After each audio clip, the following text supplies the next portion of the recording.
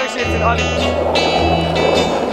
Give me a moment, give me a blues tune. Yeah, baby. Before I start roaming, just make it real soon. I know that somewhere she's waiting for me. So, äh, und jetzt erkläre ich euch das, wie, das funktioniert. Und zwar äh, kommt der hintere Fuß hinten auf den Tail. Und zwar nicht irgendwie äh, links, rechts oder irgendwo, sondern der kommt halt genau hier in die Mitte.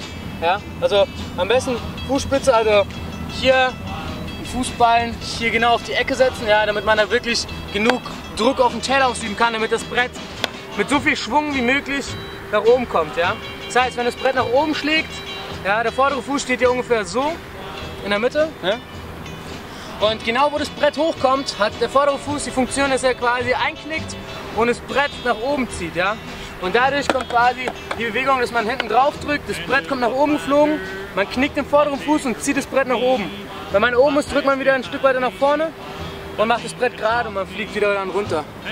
Ja, ja also funktioniert es halt. Man muss halt echt ein bisschen geduldig sein am Anfang, weil also ich habe auch persönlich ein bisschen länger gebraucht, um das zu können. Da steht man schon ein paar Tage dran und übt und übt und nicht wirklich was passiert äh, bei manchen. Es gibt auch welche, die lernen schneller, also es ist immer ein bisschen unterschiedlich. Deswegen äh, einfach geduldig sein und dranbleiben. Ne?